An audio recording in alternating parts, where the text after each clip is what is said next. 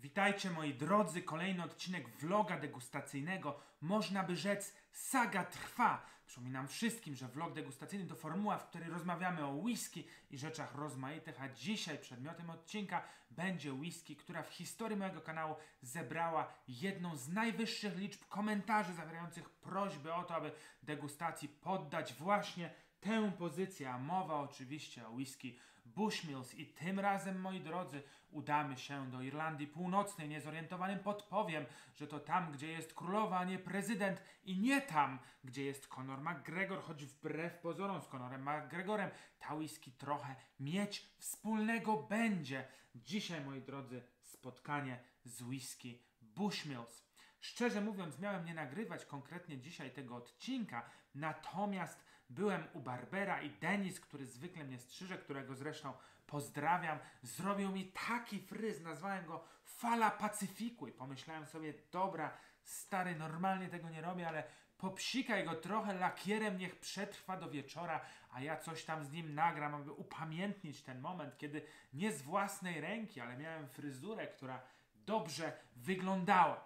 No i moi drodzy, do tego wszystkiego w końcu trochę przymroziło, więc ubrałem się tak, jak to zimą zrobić należy, czyli oprócz marynarki z szerokim wyłogiem, który by the way, jak wiecie z oglądania odcinków o ubraniach powinien opiewać mniej więcej na połowę szerokości ramienia, mam też koszulę, a także krawat, nie krawat też mam, ale sweter w serek z wełny merynosowej, pięknie pięknie utrzymującej się w dobrym stanie przez długi czas. Sweter ten ma pogłębiony serek, dzięki czemu krawat może się w nim rozpędzić, nie jest zaduszony i może ukazać światu węzeł foreign hand, czyli ten jedyny słuszny, najprostszy i najładniejszy. Mówiąc szczerze, nie lubię wyrażenia jedyny słuszny, bo to nie jest jedyny słuszny węzeł.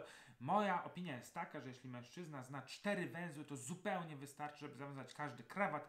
Należy znać Windsora z przyzwoitości, należy znać pół Windsora, jeśli cienki krawat daje za małego foreign handa i robi się groszek tutaj taki maleńki ziarnko groszku pod kołnierzem. Należy znać oczywiście foreign którym załatwimy 95,5% wszystkich sytuacji krawatowych i jeśli ktoś jeszcze chciałby czasem zaszpanować, może nauczyć się węzła o nazwie Albert czy Prince Albert, który to ma podwójny otok na węźle. Być może kiedyś powinienem nawet o tym nagrać. W każdym razie, moi drodzy, dobrze skrojony serek, oczywiście w tym wypadku od Miller Manswear, nie. Czasem pytacie mnie, co to za ubranie, które mam na sobie. Zawsze, nigdy nie mam tego samego ubrania, ale zawsze mam ubrania z tego samego źródła. Pochodzą one wszystkie z millermanswear.com, na które oczywiście Was zapraszam. By the way, akurat teraz trwa przecena, więc warto rzucić okiem. Moi drodzy, jest tak.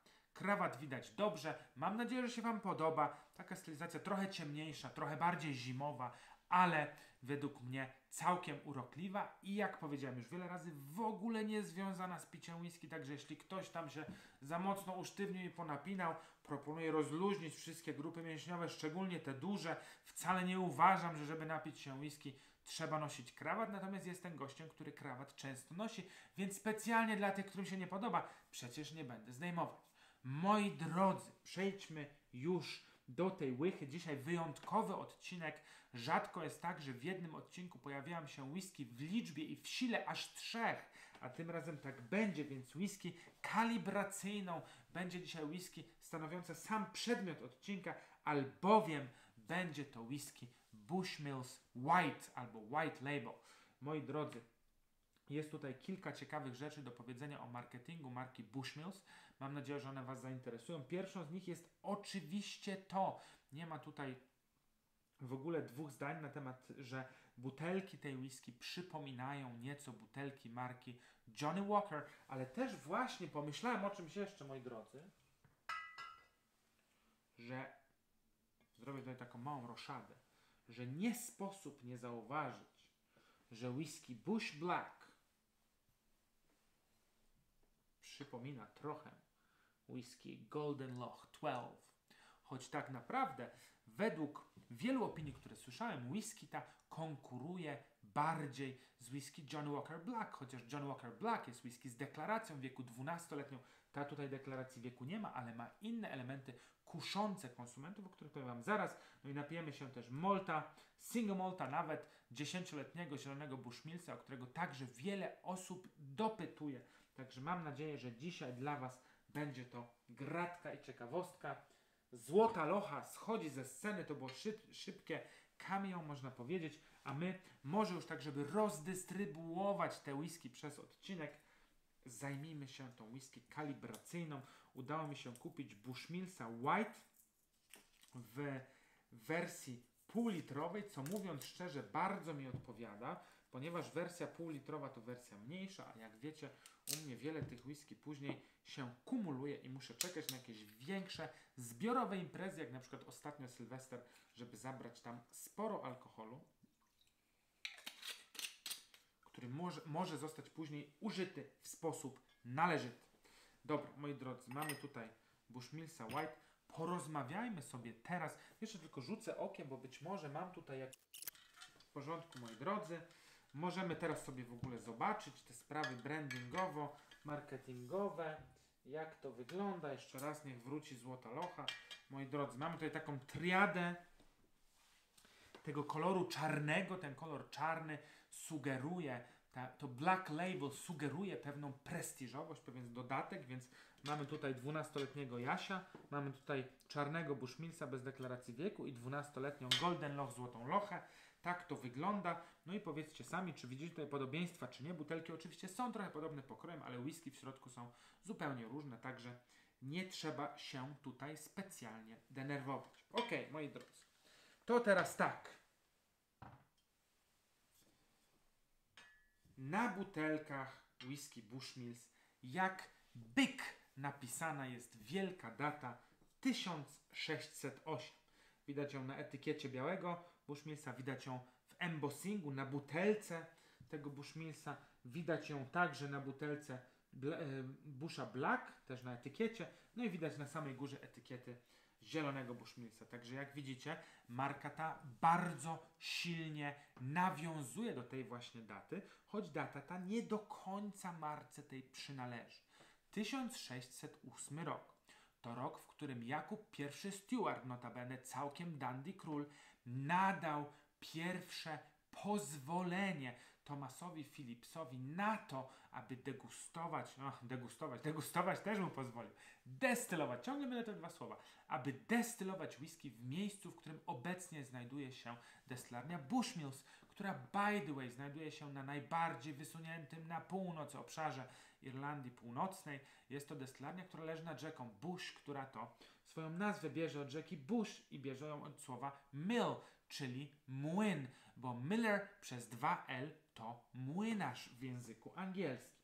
No i moi drodzy, w 1608 roku Thomas Phillips już coś tam destylował, natomiast ciągłość między tym, co destylował Thomas Phillips, a między tym, co powstaje w destylarni Bushmills, niestety nie została zachowana, ponieważ Thomas, Thomas, Thomas Phillips wcale z tą destylarnią związany nie był, także destylarnia ta, można powiedzieć, powołuje się na dziedzictwo gorzelnictwa w swoim obszarze, co niekoniecznie związane jest z tym, jak długo destylarnia istnieje. Niemniej, wykorzystując tę właśnie datę, destylarnia przypisuje sobie w myśl oczywiście zasady, że sukces ma wielu ojców, przypisuje sobie to właśnie wydarzenie, które to, e, czy to, tę właśnie datę, nie to wydarzenie, czy założenie destylarni jako najstarsza destylarnia whisky na świecie, o co oczywiście tutaj można się spierać. Do tego tytułu pretenduje bardzo wiele destylarni, a wszystko dlatego, że w 1784 roku dopiero tak naprawdę została założona destylarnia Bushmills. Zrobił to, dokonał tego Hugh Anderson. No i teraz pojawia się problem, ponieważ gdyby destylarnia ta wykorzystała właśnie datę 1784, to nagle okazuje się, że destylarnia Middleton również pochodzi z tego roku, no i ten tytuł najstarszej destylarni już nie byłby możliwy, a prawda jest taka, że tak czy inaczej w 1757 została założona destylarnia Kilbegan. W tej sytuacji, moi drodzy, włodarze marki Bushmills, powiem za chwilę trochę więcej o tym, kto dzisiaj jest włodarzem tej marki, wpadli na taki pomysł, aby whisky Bushmills reklamować jako najstarszą, nieprzerwanie, bo destylarnia Kilbega miała przerwę w działaniu, nieprzerwanie działającą destylarnię w Irlandii. Tym sposobem w myśl starej, znanej i przez wielu lubianej zasady, że punkt widzenia zależy od punktu siedzenia i kąta patrzenia, nagle okazuje się, że Bushmills pod wieloma kątami i sposobami broni swój tytuł najstarszej destylarni whisky. Swoją drogą w Szkocji też jest wiele destylarni, które podają się za najstarsze, także jest to sytuacja zupełnie normalna, a wszystko dlatego, że jeśli ktoś jest marketingowcem, tak powiedzieć brzydko, powiedzieć ładnie, specjalistą do spraw marketingu lub ekspertem do spraw marketingu alkoholowego, doskonale wie, że kluczem do istnienia marki alkoholowej jest oczywiście jakiś wyróżnik i w przypadku whisky Bushmills tym wyróżnikiem jest oczywiście data powstania. Tutaj pojawia się w ogóle taki temat, który jest ciekawy, ponieważ myślałem sobie o tym ostatnio i stwierdziłem, że jest rzeczą zupełnie naturalną, że produkując wódkę Miller Spirits ja również takiego wyróżnika muszę używać. I tak też się dzieje, ponieważ ja stosując tę zasadę wyróżnienia marki, ale nie mając możliwości pochwalenia się na przykład datą założenia, bo co to za data założenia rok temu, e, albo nie mając możliwości na przykład tak jak e, destylarnie staram się mówiąc, już leżakuję, już robię, wódka nie leżakuje, więc tutaj nie mam możliwości wyróżniania jej na przykład wiekiem. Swoją drogą to jest bardzo wielki problem dla nowych destylarni. Ostatnio nawet ktoś zadał takie pytanie w komentarzu, co robią destylarnie, kiedy się otwierają? No bo destylarnia whisky musi się otworzyć i później przez 3 lata czy przez dwa lata, jeżeli weźmie opcję amerykańską, musi mm, tę właśnie e, whisky leżakować nie może sprzedawać, więc destylarnie mają szereg rozmaitych technik w postaci przyjmowania inwestycji w beczki, wypuszczania make'a, wypuszczania trochę odleżakowanego spirytusu, wypuszczania próbek do sprawdzenia, jak spirytus leżakuje. Także jest wiele możliwości. Natomiast ja w przypadku wódki zdecydowałem się na wyróżnienie jej kilkoma elementami wizualnymi, które oczywiście są niebywale istotne. Więc jest Jigs pod Górna Street, jest ręcznie wypisana etykieta, co jest rzadkością w świecie alkoholi produkowanych w tej skali. Natomiast oprócz tego, jako markę zdecydowałem się wyróżnić wódkę Miller Spirits w taki sposób, że nie mam wieku, nie mam daty założenia, nie mam swojego zakładu gorzelniczego, więc będę wyróżniał tę wódkę swoimi umiejętnościami sensorycznymi, więc powiem, ok, wypiłem wiele rozmaitych alkoholi, znam profile smakowe tych alkoholi, więc będę profil smakowy alkoholu, który butelkuję pod swoim nazwiskiem, wybierał, selekcjonował samodzielnie w taki sposób, aby ten cieszył podniebienia konsumentów i do tej pory udaje się to doskonale. Trafiam w Wasze gusta, z czego jestem niezwykle dumny, moi drodzy. 5250 butelek w pierwszym roku istnienia marki, 2018 rok. Bardzo, bardzo dużo i zobaczymy, co przyniesie rok 2019. Najbliższy rozlew już niedługo. Dobra, tyle w temacie, małej dygresji, ale formuła vloga degustacyjnego pozwala na to, przypomina o tym. Także jeśli ktoś miałby teraz być niezadowolony, to uprzejmie proszę, aby nie był. Dobra, moi drodzy, skalibrujmy się najpierw tym e, White Bushem.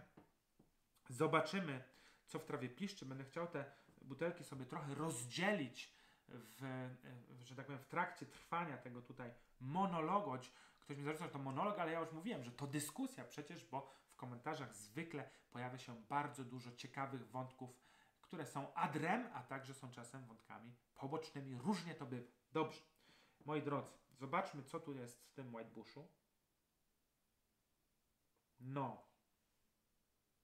No to tutaj ten profil irlandzkości, muszę powiedzieć, jest wyraźnie podkreślony. Jest to whisky słodka, jest to whisky deserowa, powiedziałbym wręcz, jeszcze raz ją niuchnę, waniliowa, cukrowa, cukiernicza, ciasta, tego typu klimaty. Też trochę alkoholu, też trochę młodości. Tak to wygląda. Generalnie słodycz, taki profil przyjazny, profil bardzo irlandzki. To jest taki, mogę powiedzieć, jeden z większych zarzutów, które miałbym do whisky irlandzkiej, kiedy na blogu Miller pije, kiedy jeszcze byłem bardziej blogerem piszącym niż vlogerem mówiącym, robiłem przegląd whisky irlandzkiej, nie pamiętam w którym to było roku, w 2012 albo 2013, jakoś tak. Wtedy w Irlandii działały cztery destylarnie, więc łatwo było tym destylarniom, mimo mnogości marek, które one produkują, łatwo było im zarzucić mm, właśnie, no nie licząc Konemary oczywiście, o którą od czasu do czasu e, pytacie, wydaje mi się, że już powoli jesteśmy gotowi, żeby lekko nie wyostrzyć kurs, tylko lekko odpaść do półwiatru albo nawet do jakiegoś baksztagu i popłynąć gdzieś tam na te Isle i się w końcu napić jakichś torfów, bo myślę, że czas już na to nastał. Mamy za sobą w tej chwili Kalile i Port Ellen. Zobaczymy, co jeszcze można by tam wypić. Chyba czas na tę świętą trójcę, chyba czas na Artbega, na Lagavulina i Lafroiga w kolejności, jak umieszczone są na Isle te destylarnie. Natomiast teraz jesteśmy w Irlandii, gdzie jeszcze parę lat temu cztery destylarnie, w tej chwili tych destylarni jest już 18, z planem na kolejne 16, czyli to oznacza, że w najbliższych latach będziemy mieli w Irlandii, ile to jest? 18 plus 16, to jest 34 destylarnie whisky, także zupełnie, zupełnie, zupełnie prawie 10 razy więcej niż kilka lat temu. Ciekawe, jak, jak e, przemysł to przyjmie, ciekawe, jak tak bardzo zwiększona podaż whisky irlandzkie, kiedy ta upomni się o swoją część rynku, jak zareagują na to konsumenci, czy te whisky się utrzymają. Jest obecnie wielki boom na whisky, więc destylarnie otwierają się jak grzyby po deszczu. Później rynek oczywiście w tej depresji je zweryfikuje. Zobaczymy, jak to będzie. Natomiast no jest teraz większa mnogość whisky irlandzkich, więc będzie to ciekawszy rynek, ale ja osobiście uważam, że jeszcze trochę trzeba poczekać i dać, dać tym destylariom trochę czasu na to, aby ta ich whisky się zestarzała, aby mogły pokazać coś ciekawego, coś beczkowego, a nie na razie coś takiego początkującego. No dobrze. No i teraz tak, moi drodzy. Jesteśmy w tej chwili w takiej sytuacji, a może dam jeszcze jedną oboczność, co mi tam. Pan Dominik jest na urlopie, więc prawdopodobnie w tym tygodniu pojawi się wyłącznie jeden odcinek i to jeszcze zobaczymy, kto go będzie montował, nie wiadomo. Natomiast e, może przez to, że będzie jeden odcinek w tygodniu, to pozwolę sobie na nieco dłuższą dywagację. Odpowiem na pytanie poboczne, randomowo, ale często zadawane w komentarzach, które jest nie na temat odcinka, a mianowicie często dostaję prośby, e, a już nawet pytania, dlaczego nie, albo prośby o to, żeby e, poddać degustacji rozmaite polskie whisky. Tych whisky oczywiście nie jest tak dużo, natomiast kilka polskich whisky jest i kilka, pol, kilka polskich whisky jest i o nie pytacie. I e, ja może powiem w ten sposób, że w wypadku tych whisky, które stawiają pierwsze kroki na rynku, nie mówię tutaj o dużych markach, które odpalają whisky, prawda? Bo na przykład jeśli whisky odpala Jota Baczewski, no to tutaj nie można powiedzieć, że jest to młoda whisky, ponieważ jest to whisky, która po pierwsze wynika z wieloletniej tradycji jej produkcji, bo była produkowana dawno, dawno temu przed wojną, natomiast po drugie jest to marka, która po pierwsze nie jest, jest marką polską, ale whisky ta nie jest produkowana w Polsce, tylko w Austrii, a po drugie jest to marka wielka, która doskonale sobie radzi, ma wielką sieć dystrybucji itd., tak itd. Tak natomiast ja osobiście kibicując wszystkim polskim destylarniom i wszystkim polskim projektom whisky. Generalnie nie chciałbym oceniać produktów pochodzących z bardzo młodych projektów. Nie mówię o bardzo młodych whisky, mówię o bardzo młodych projektach, ponieważ projekty te stawiają pierwsze kroki. Z reguły nie, nie działają w olbrzymiej skali i mogłoby być tak, że gdyby te whisky mnie zachwyciły, to ta y, opinia moja, która gdzieś tam już ma coraz większe zasięgi, bo kanał, który prowadzę rośnie, mogłaby pomóc, ale gdyby ta opinia nie była zbyt przychylna, to mogłaby zaszkodzić, a ja żadnemu z tych projektów zaszkodziłbym, zaszkodzić bym nie chciał, ponieważ trzymam za nie kciuki, ponieważ mam nadzieję, że polska whisky będzie kiedyś mocną kategorią i pozwolę jeszcze trochę w beczkach dojrzeć i kiedy ta w tych beczkach dojrzeje z przyjemnością whisky tej, znaczy dobra, dobra, nie będę już tak tutaj bajerował, bo ja oczywiście whisky tę już piłem, niektóre z tych znanych whisky polskich piłem nawet przed, e, przed wypuszczeniem na rynek jeszcze, bo producenci konsultowali ze mną tematy związane z ich smakiem. Dobra, jeden producent, nie budujmy już tutaj takich tam PR-owych tematów.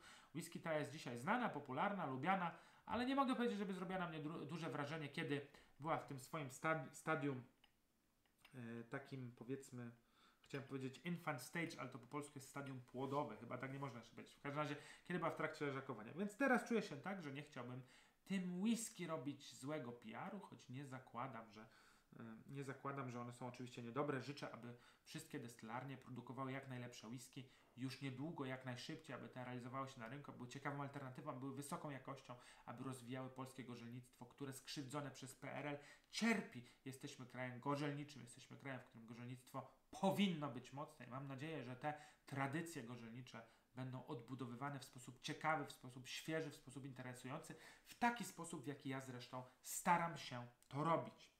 Dobra, moi drodzy. Czy ja piję whisky? Piję whisky, zapomniałem o tym. Okej. Okay. No więc cóż, w, tej, w tym profilu irlandzkim miałbym właśnie do zarzucenia to szczególnie, kiedy były te cztery destylarnie, ale się wróciłem o parę minut, nie? Kiedy były cztery destylarnie, że ten profil, nie licząc Konemary, był taki jednolity. Był właśnie taki karmelowo-słodko-waniliowy, deserowo-roślinno-cukierniczy, dziękuję. I większość tych whisky, nie może być, że one wszystkie były takie same, bo bez, bez wątpienia i bez trudu można było znaleźć w nich jakieś tam różnice, ale te różnice miały wymiar subtelny, a nie radykalny, jak w przypadku whisky szkockiej, która rozpościera się gdzieś tam od dymów do właśnie takich słodkości, no więc ma ona tutaj dużo większe spektrum aromatyczno-smakowe do zaoferowania. Natomiast w przypadku tych whisky irlandzkich tak właśnie było. Mam nadzieję, że to się trochę zmieni z czasem. No ale ten Bushmills bez wątpienia w to, y, w tę właśnie kategoryzację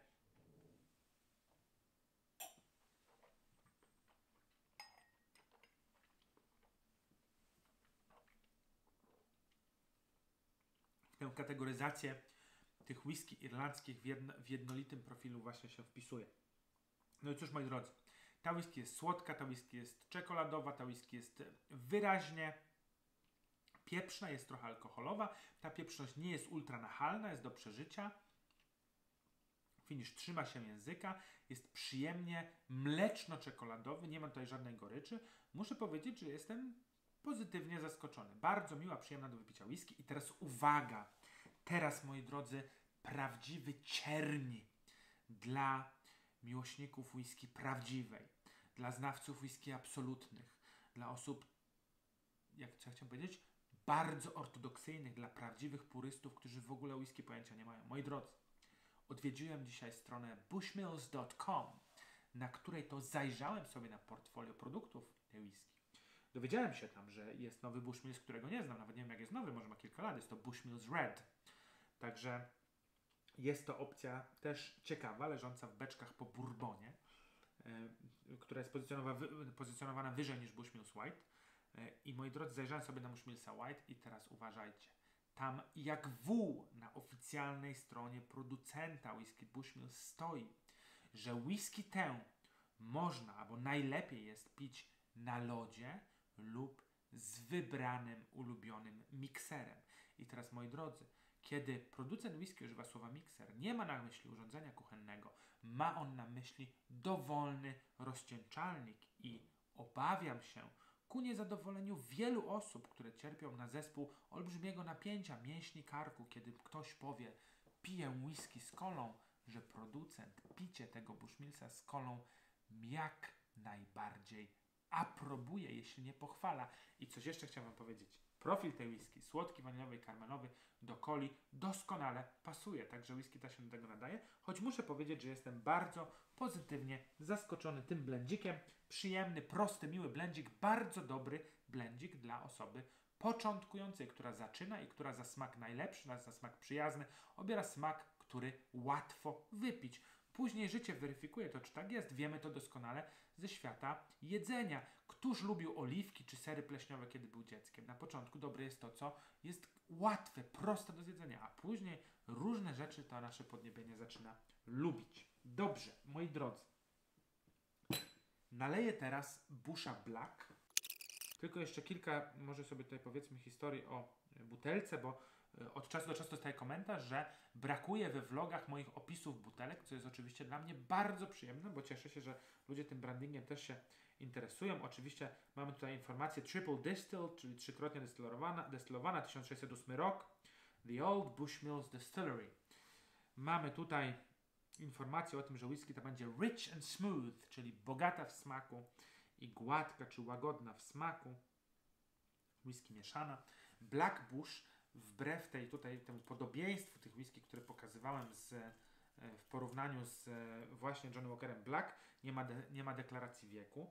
Ale no tutaj butelka trochę premiumizuje. Mamy cynowy kapturek, ciekawie to wygląda. No i pojawia się także, co też sugeruje oczywiście półkę wyższą, zresztą sam z tego korzystam, bo również jest to w wódce Miller, pojawia się właśnie koreczek. No i teraz, kiedy butelka jest nowa, to ten koreczek potrafi sobie jakimś tam dźwiękiem nas zachwycić. Zobaczmy, co pokaże nam ten koreczek. Uwaga. Całkiem przyjemny na degustację nastawiający już dźwięk. To bez wątpienia najpiękniejsze kieliszki we wszechświecie z pięknymi, ręcznie formowanymi przykrywkami, piękny kształt, bardzo wąska nóżka, wspaniała talia kieliszka, żadnych szwów ręcznie formowania. Coś pięknego. Kiedyś nagram o tym e, osobny odcinek, mam już to w planach. Natomiast teraz, moi drodzy, wracajmy do historii whisky Bushmills. Historia ta jest bardzo burzliwa, ponieważ kiedy Lata płynęły, destylarnia między innymi w 1880 roku spłonęła, została szybko odbudowana, później pojawił się ten przełom XIX i XX wieku, kiedy to e, destylarnia zaczęła czerpać korzyści z rynku amerykańskiego, dopłynął tam SS e, jeszcze raz, SS Bushmills, a SS Bushmills to nic innego jak steamship, czyli statek parowy, który należał do destylarni, dowiózł whisky tę do Stanów, które okazały się dobrym rynkiem dla Bushmillsa, także e, whisky oczywiście ta dobrze się sprzedawała, destylarnia zaczęła się rozwijać, ale niestety w 1920 roku jak grom z, no może nie jak grom z jasnego nieba, bo można to było przewidzieć, ale uderzyła, uderzyła, moi drodzy, prohibicja w Stanach Zjednoczonych, która zamknęła ten rynek. Szkotom jakoś się udawało przemycać tę whisky do Stanów, Irlandczykom trochę gorzej, także nie było tak łatwo. Później nadeszła II wojna światowa, podczas której destylarnia została zamieniona w koszary. Główne biuro destylarni zostało trafione bombą, która e, niestety zniszczyła całe archiwum, więc tak jak widzieliście ostatnio archiwum Diageo, tak w tym wypadku e, archiwum Bushmillsa, takiego daleko idącego, nie można zobaczyć.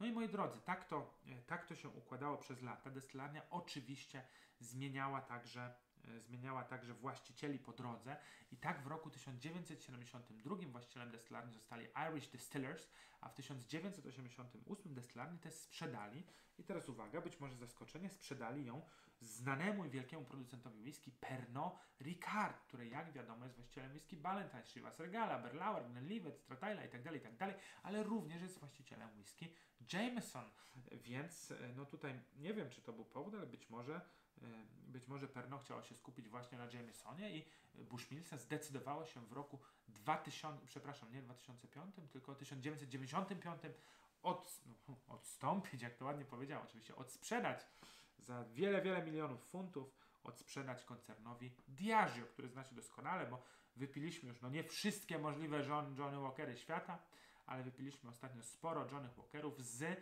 Johnny Walkerem White Walker Game of Thrones na czele, którego to którego topiliśmy w poprzednim odcinku, także, także odsyłam Was do tego, jeśli temat może Was zainteresować.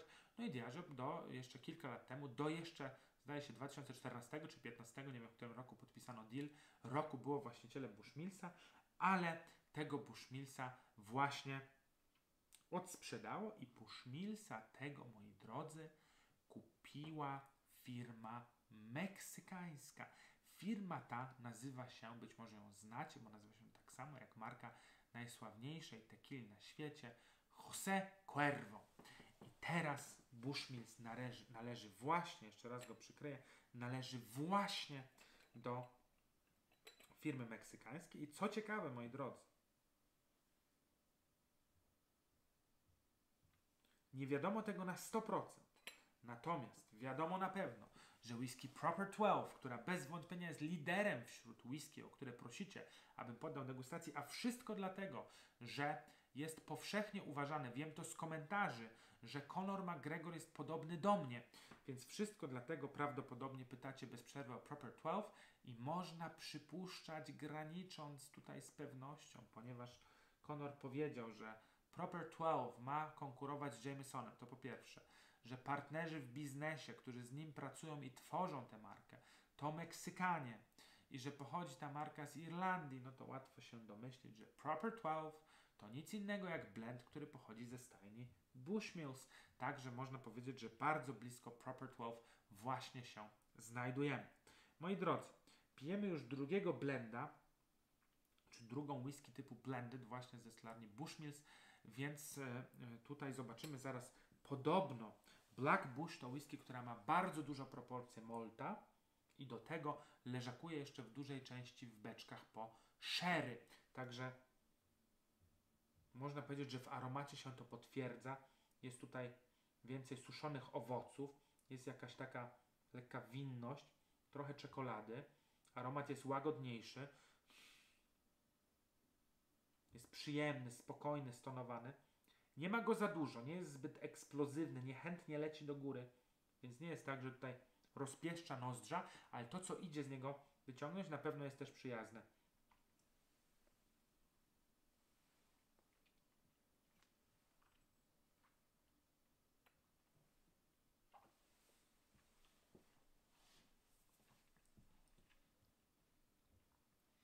No tak, pieprzność jest pod kontrolą, ale jest. Tak jak w tym, tak jak w tym White Bushu, czy Bushu White, czy Bushmilsie White Label, tę pieprzność akceptowałem, to tutaj pieprzność na podobnym poziomie jednak nie jest dla mnie aż taka, powiedziałbym, do rany przyłóż. Od whisky premium oczekiwałbym odrobinkę więcej, choć ta whisky premium zdaje się nie jest aż tak bardzo kosztowna, więc, e, więc nie wiem, czy tutaj mam prawo tupać nogą. Oczywiście whisky ta jest wyraźnie lepsza niż White Walker, e, White Walker powiedziałem, niż White Bushmills. Natomiast e, tej pieprzności trochę jest. Natomiast finish zostaje również czekoladowy, mleczny, przyjemny, słodki, bez cierpkości. Trzyma się, nie jest bardzo złożony, ale nie wiem, czy jakieś wielkie złożoności od niego bym oczekiwał. Także tak tutaj jest. Trzykrotnie destylowany blendzik, który składa się oczywiście z whisky słodowej, którą dla destylarni Bushmills jest łatwo pozyskać, ponieważ jest to whisky, która jest przez nią produkowana oraz whisky zbożowej, która destylarnia Bushmills kupuje w destylarni Middleton, a przynajmniej kupowają tam kiedyś, bo to starsza informacja, którą posiada. Także jak widzicie, tak układa się świat blendów. Natomiast teraz chciałbym Was, moi drodzy, zabrać do świata irlandzkiej whisky słodowej, czyli 10-letnia whisky typu single malt, o którą również wiele osób dopytuje. Zacznę już ją tutaj rozbrajać. Przyjrzymy się butelce. Mój ulubiony kolor, choć na irlandzkie whisky British Racing Green. Dowiadujemy się, że jest to 10-letni malt leżakowany w beczkach po Bourbonie Oloroso Sherry przez minimum 10 lat. Będzie to whisky łagodna, będzie to whisky miodowa, więc będzie to whisky owocowa. Mamy nadzieję, że właśnie tak będzie. Mamy również datę 1608. Tutaj butelka pochodzi z importu niemieckiego, więc wyraźnie wielkimi literami napisane jest to, co zawsze na butelkach pochodzących z rynku niemieckiego, czyli mit Farbstoff, czyli barwiona karmelem, moi drodzy. Pozbywam się znaku akcyzy. Tutaj schowam, już się zrobił niezły śmietnik. Już tyle razy mówiłem, jak bardzo nie lubię tych znaków akcyzy. Niektórzy proszą, żebym się aż tak często nie powtarzał w odcinkach. Przepraszam Was za to. Często jest tak, że kiedy nagrywam te odcinki o co bardziej popularnych produktach, no to one często, że tak powiem, zajmują się taką rekrutacją nowych e, oglądających na moim kanale, więc e, no, staram się przekazać taki powiedzmy pakiet informacji powitalnych i podstawowych, aby osoby, które oglądają po raz pierwszy, wiedziały czego się spodziewać. Jeśli ktoś z Was ogląda po raz pierwszy i doszedł aż do tego momentu, który już trochę trwa, to po pierwsze pewnie wiecie, że jestem niezłym gadułą i lubię sobie trochę zboczyć z tematu, ale jeśli tak się składa, że jak wielu innym się to Wam podoba, to koniecznie pod wideo wciskajcie przycisk subskrybuj, a od razu obok dzwoneczek, aby nie przegapić kolejnych produkcji. I przepraszam, że po raz kolejny to przypomniałem. Teraz mamy już to za sobą. Polewam Molta 10-letni. Single Malt Bushmills. Uwaga. Ok. W porządku. Moi drodzy. Bushmills to destylarnia, która oczywiście destyluje swoją whisky trzykrotnie. No i kiedy destylacja jest trzykrotna, ta whisky na końcu na końcu trzeciej destylacji zbliża się już mocą do 80%, czyli całkiem sporo. Oczywiście moc ta, a może nie tak oczywiście, ja powiem szczerze, że długo tego nie wiedziałem, ale moc ta jest redukowana do 62,5% przy wlaniu do beczki, bo drewno dębowe nie lubi, nie lubi leżakować tak mocnej whisky, więc wszystkie whisky szkockie też są, ich moc jest redukowana. E, I następnie po leżakowaniu ta whisky, no zależy oczywiście ile leżakuje, bo oprócz wersji 10-letniej jest jeszcze 16-letnia, 21-letnia, ale generalnie ma tam ona 50 tam parę procent. No i teraz tak. Destylarnia Bushmills to taka destylarnia, która prowadzi bardzo szybką fermentację. Trwa na 40 kilka godzin i kończy się alkoholem o zawartości 7%, czyli nie tak dużo tych procent, no ale za to bardzo krótka, e, bardzo krótka fermentacja sprawia, że bardzo krótka fermentacja sprawia, że tego alkoholu e, przefermentowanego czy przefermentowanego zacieru jest sporo i można dużo destylować. Przypomnę tylko, że podobnie szybką destylację prowadzi destylarnia Tamna Wulin, o której rozmawialiśmy całkiem niedawno przy okazji omawiania prawdziwego pochodzenia whisky z Lidla sprzedawanych pod nazwą Bastard Malts, czyli whisky Benkartów Ben Bracken. Ok, moi drodzy, tyle w temacie.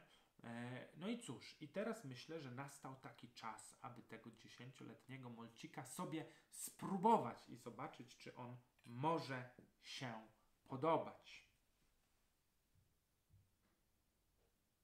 No, ten profil jest spójny i coś, co mi się podoba od razu, to to, że przez portfolio wiecie, ja nie wiem, ja, jak mówiłem już, ja jestem trochę zmęczony i muszę powiedzieć, że wyjątkowo jestem też dzisiaj bardzo łagodny dla tych whisky, z którymi się spotykam. Y, Ale no muszę powiedzieć, że to chyba działa, że ten, ja zawsze mówię, że ten, ta słodycz to jest populizm i ta whisky, można powiedzieć, jest populistyczna, czyli trafia w gust ogólny. Nie ma w tym nic złego, jest w tym coś trochę nudnego na dłuższą metę, ale na pewno nic złego i tutaj tę gradację jakości bardzo wyraźnie widać przez całe portfolio, czyli było to entry level, które nadaje się do lodu, czyli do picia z Coca-Colą, ale świetnie się do tego nadaje. Później był Black Bush, który jakąś tam głębię wnosił, choć może nie aż tak spremisowany jak myślałem. I później pojawił się ten zielony Bushmills i jeszcze nie chwalmy dnia przed zachodem, bo spotkałem się z dziesiątkami, jeśli nie setkami whisky, które to składały obietnice aromatem, które nie były w stanie dotrzymać smakiem. Natomiast tutaj obietnica jest tak jak w przypadku większości słodyczy, czyli jest prosta, ale przyjemna. Jest dużo wanilii, jest cukier puder, jest słodycz, jest trochę takiej owocowości, roślinności, ale bardzo niewiele. I to w zasadzie wszystko. Ale czy to źle, że to jest takie płaskie? Nie, bo to jest bardzo przyjemne. Także można sobie powąchać, nie można się obrażać.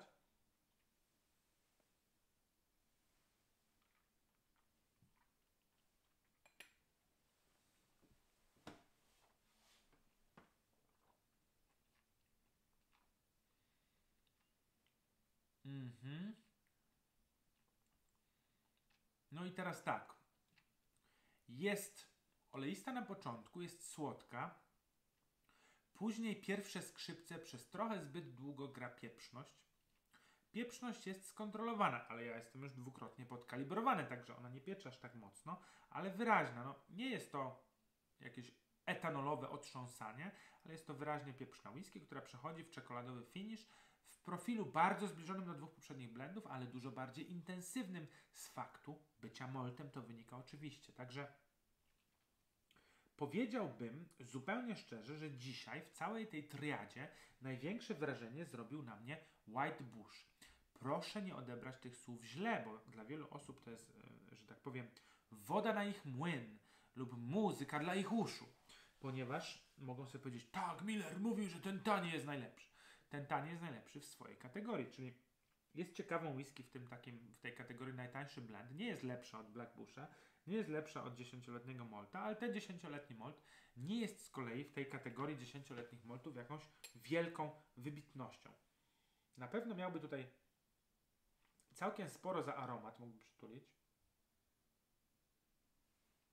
Natomiast